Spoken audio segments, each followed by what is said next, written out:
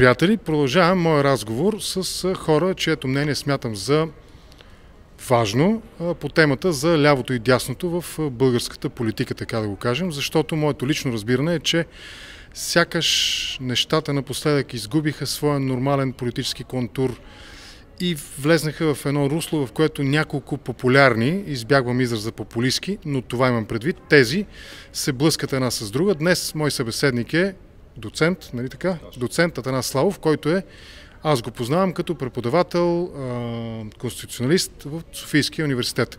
Господин Славов, благодаря ви, че приехте моята покана. Нека да започнем с първи въпрос.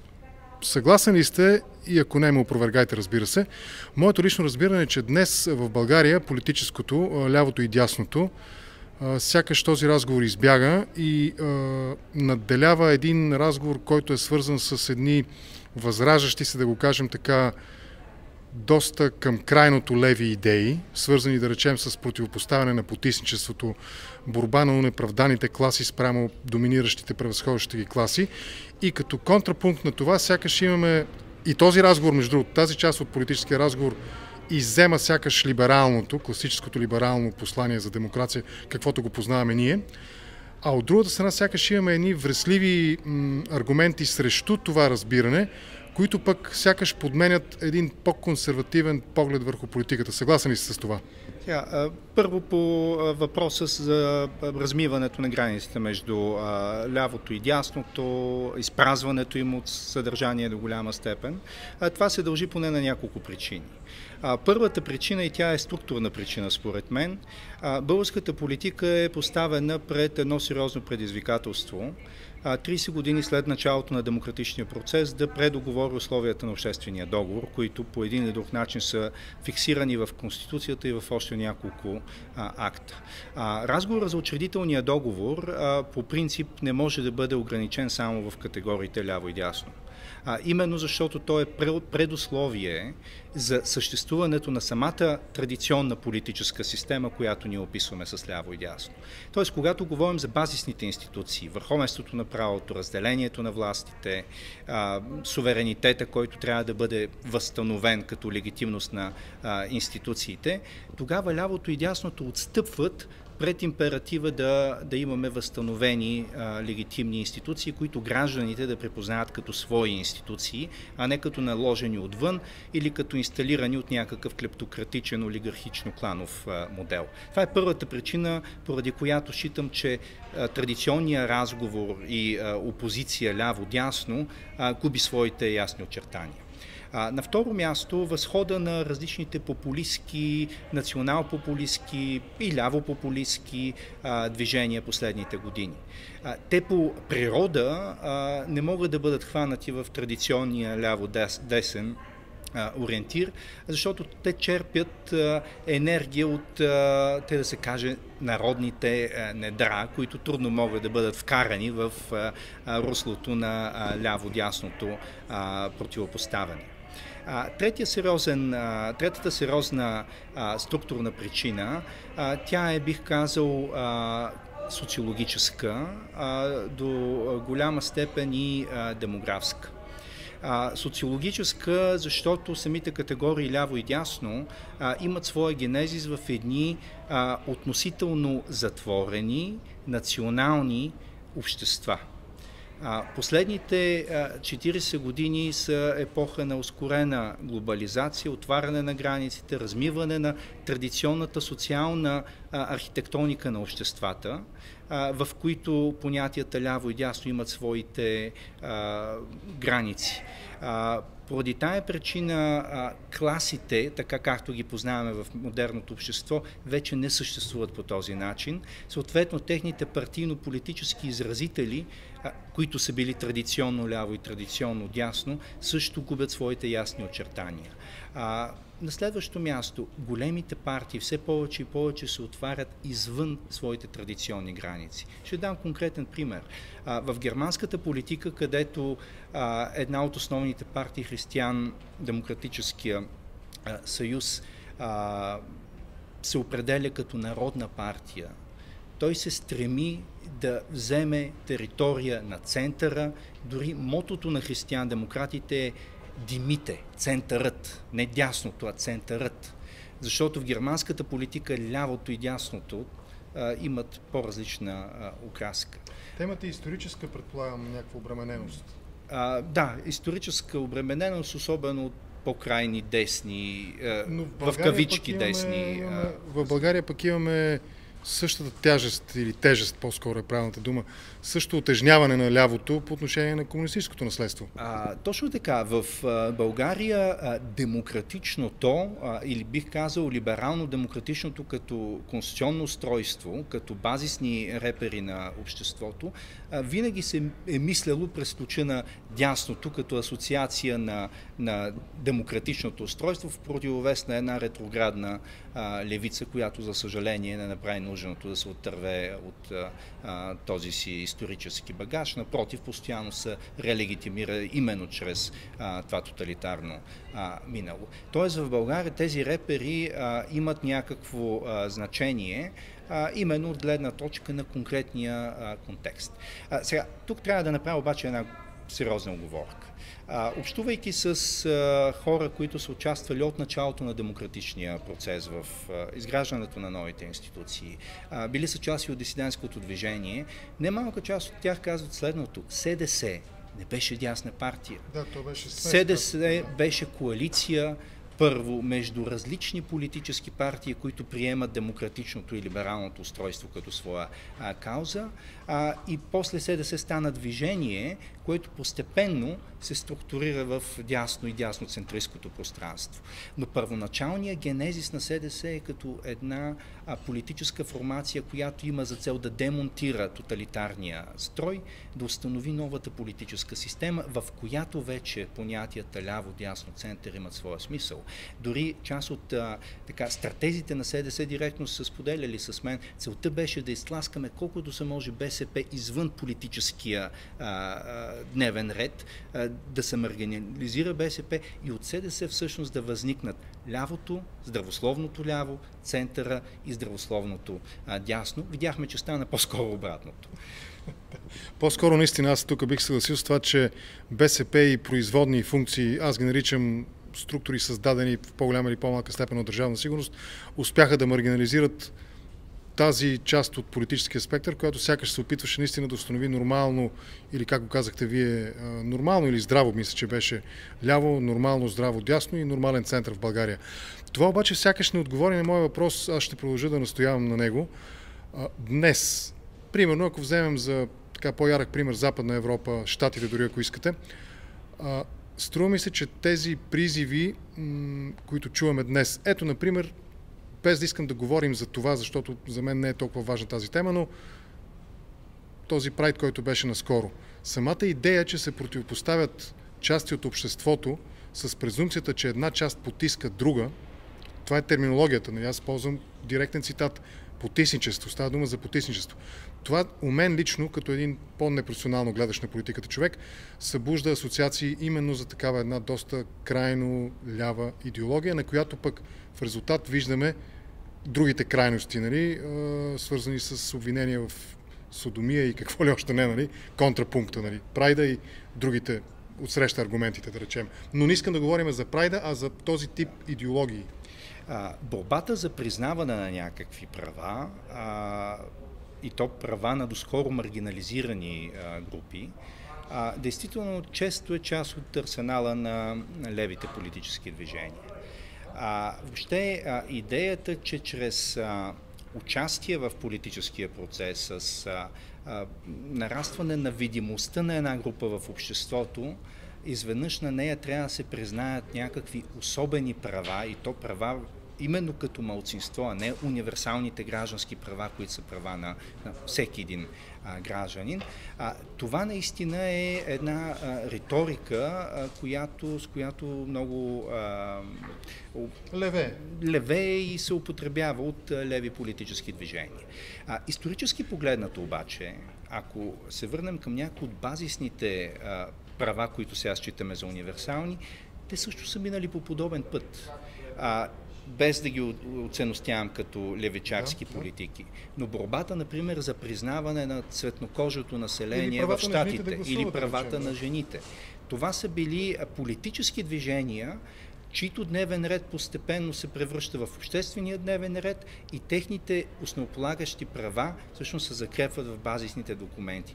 Това е момента на предоговаряне, аз в началото казах, условията на обществения договор. Но тези, тези политически тези, тръгвайки от лявото, те са намерили своя превод и на десния политически язик и в момента и десните политически субекти еднакво не успорват правата, да речем, на цветнокожите или правата на жените да гласуват или, е да, или да имат равен достъп до труд. Нали? Това е точно така, но към момента на политическите битки, на обществените спорове за тези права, 60-те години в Штатите или да. 30-те или 20-те години преди това, те са били считани за част от а, прогресивната левица, която иска да промени традиционния дневен ред, а, да, го, да имплантира някакви чужди ценности така нататък. Което обаче не означава, и тук трябва да съм а, много а, така а, ясен, че а, правата на определени малцинствени групи, в това число и някои сексуални малцинства, а, непременно трябва да станат част от арсенала на а, универсалните граждански да. права.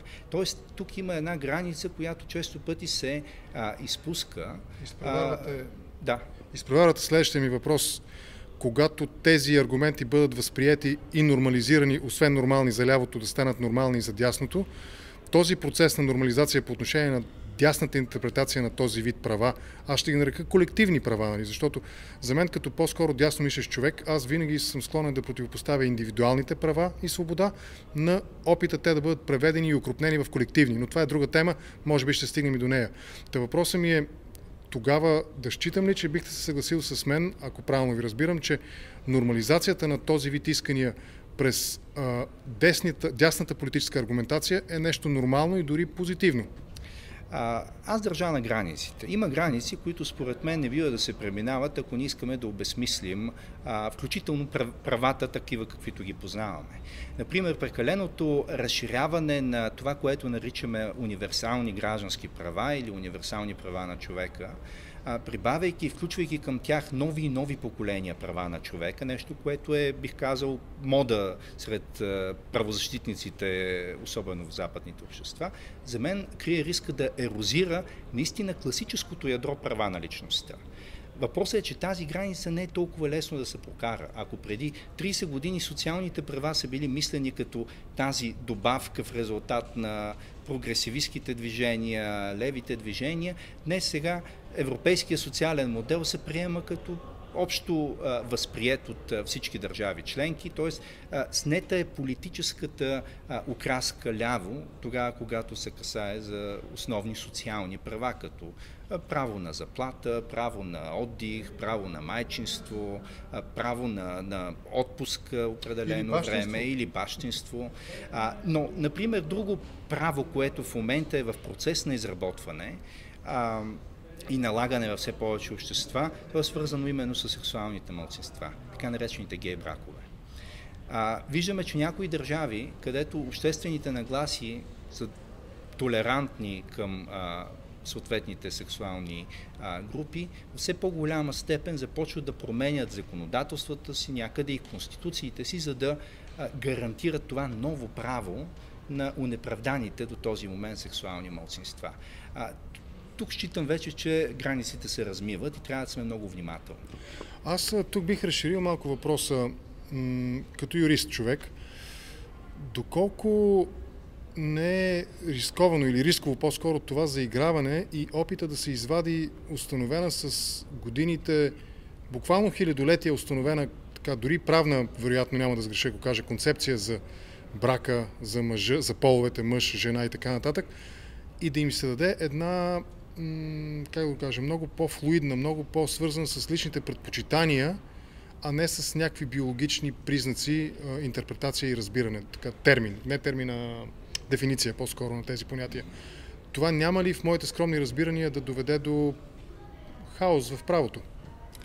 А, има тенденция, която разколебава а, понятията за, за пол, за полово самоопределене все още тази тенденция не доминира в правото, тя по-скоро доминира в политиката, в различни политически движения, философски включително школи. Правото е доста консервативно от тази гледна точка.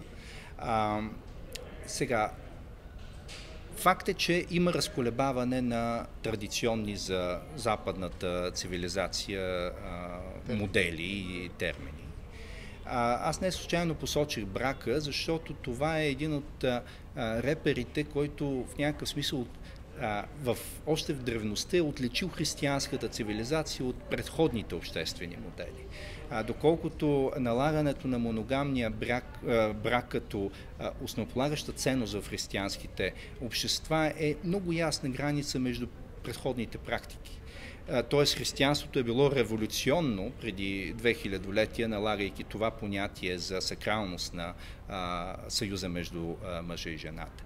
А, и сега опитите този сакрален съюз, в последствие секуларизиран, разбира се, и възприят гражданското право, а, да бъде променен в основна негова съставка, а, аз намирам за крайно проблематични.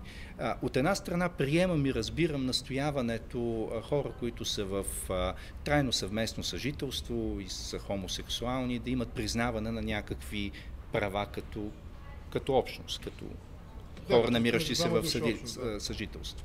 Но просто да наречеш този тип съюз или фактическо съжителство да го наречеш брак, за мен е опасна промяна на самата терминология и на, и на съдържанието на самия институт, който а, наричаме брак. Знам, че тук може би много хора биха били засегнати, но, но това е а, лично мнение, което по, по отношение от християнската концепция за брак. По отношение на засягането, аз бих казал, че ревността, с която евентуално хора, които биха се засегнали от а, вашата позиция, ревността, с която те защитават своето право и своята позиция, би трябвало със същата ревност да бъдат а, безрезервно така, да се обидят защита на вашето и моето право на мнение, защото това предполага демокрацията и това предполага и борбата срещу потисничеството, включително и потисничество срещу идеи.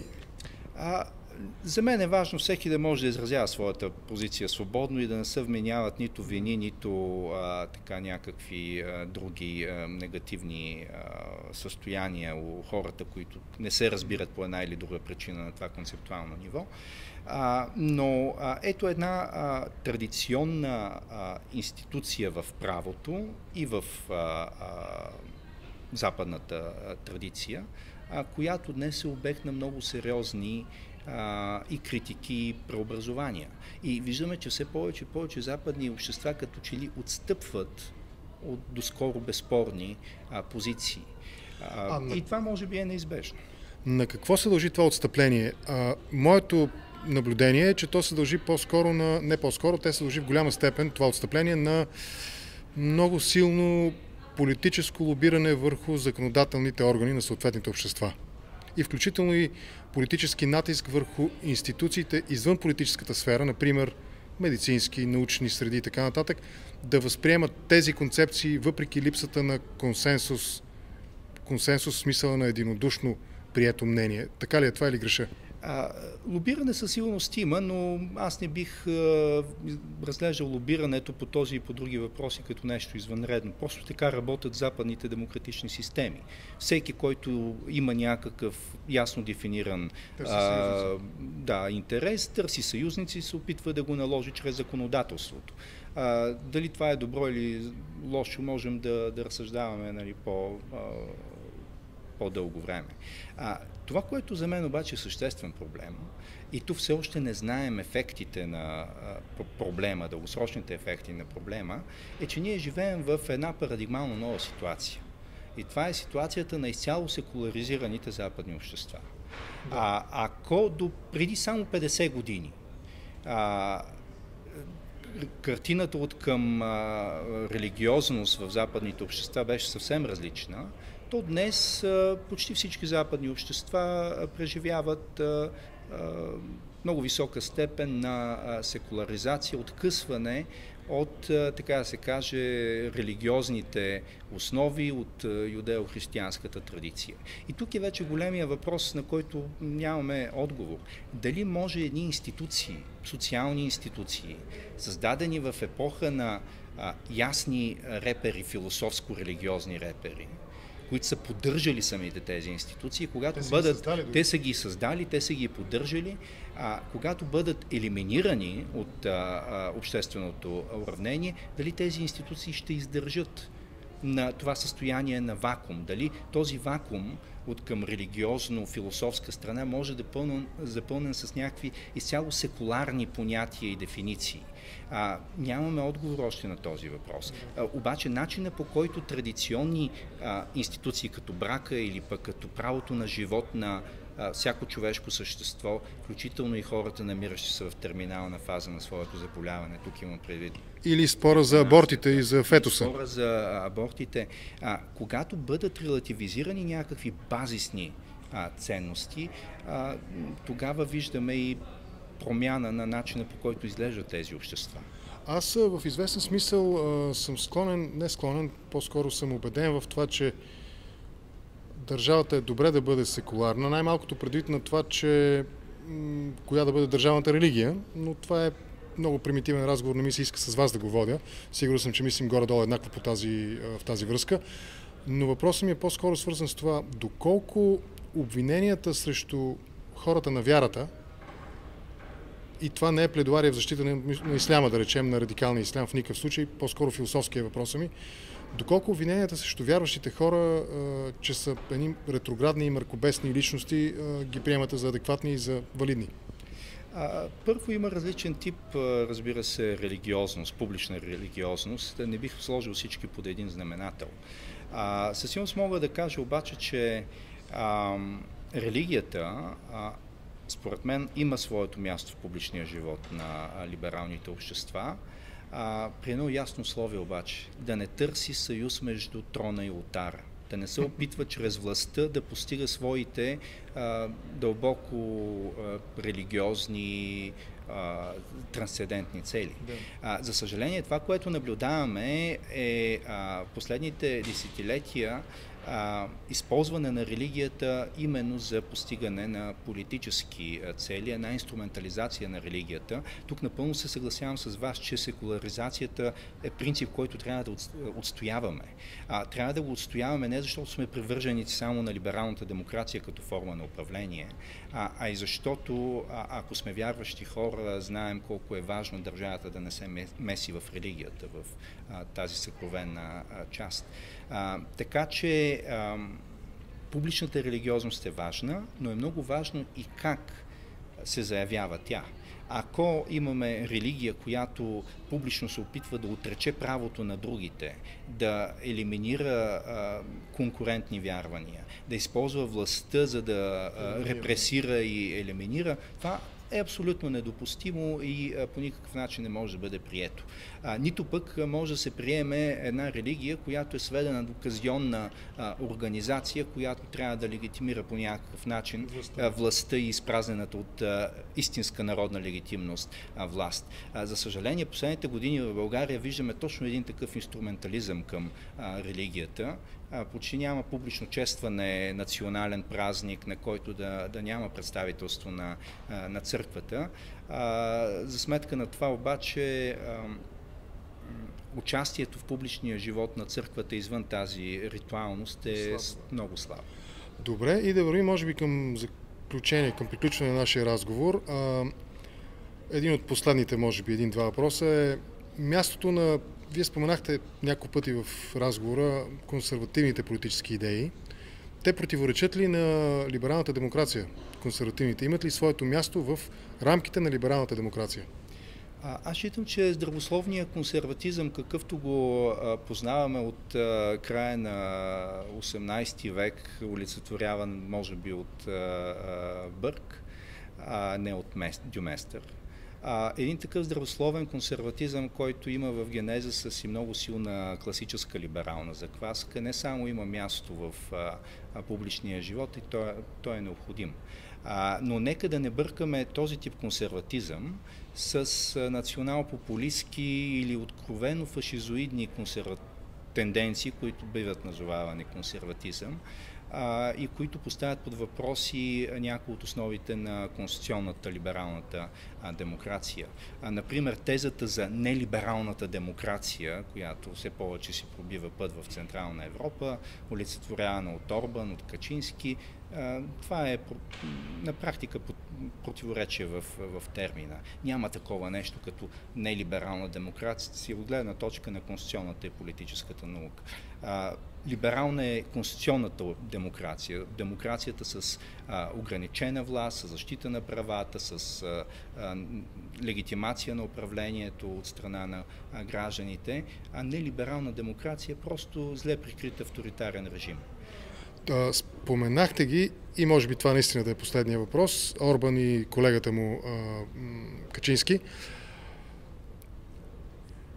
Тогава какво да кажем, какво е вашето мнение по въпроса? Струва ми се обаче, че ние не можем с легена с бръстата вода да изхвърлим и бебето, не да използвам този по-популярен израз. Тоест, а, и Орбан и неговия колега, те сякаш могат да бъдат в аргументите им могат, може да бъде извадено рационалното по отношение на критиката им към това, за което говорихме в началото на нашия разговор, а именно радикализирането на някои идеи за граждански права и, и, и, и човешки права дори и вкарването им в а, крайно левия политически спектър на идеология и на говорене.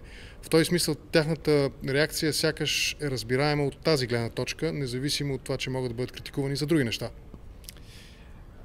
начинът по който се противопоставят режимите в Унгария и в Польша на тези опасности, които те виждат по отношение на традиционните, така наречените традиционни ценности или по отношение на миграцията, нямат много общо с демократичните средства. Така че това да признаваш, че има проблем, а, не означава рецептата, която дава за неговото решаване, че да, а, да, да е приемлива. А, аз бих казал нещо а, в а, посока на това, че а, традиционните а, умерени консерватори, традиционните умерени либерали, а, знаят как да се справят с заплахи към базисните а, ценности на, на западното общество, а, без да стигат до авторитарни а, идеологии и до някакви авторитарни практики. Всъщност, а, абсолютно невярна мантра е, че Запада е слаб, че демокрацията е слаба, има нужда от а, а, извънредни авторитарни а, мерки, за да се защити. Всъщност, именно западните общества са доказали в периоди на криза, че могат да мобилизират вътрешен ресурс защита на демокрацията, да останат демократични дори тогава, когато се борят срещу най-зловещите диктатури, които са комунизма и национал-социализма и а, фашизма. Така че да не бързваме да отписваме либералната конституционна демокрация, просто защото са се появили нови предизвикателства и трябва да търсим тяхното решение. Мисля, че това е много добър финал на нашия разговор. Идеята ви, че умерения ви го нарекохте, аз ще използвам думата здравословния либерализъм и здравословния консерватизъм са неделими от това, което ние познаваме днес и са, как го кажа, да, неотделими и необходими. Необходими е думата, която търсих за тази демокрация, която ние днес познаваме и наричаме либерална. Много благодаря за този разговор. Благодаря, благодаря ви.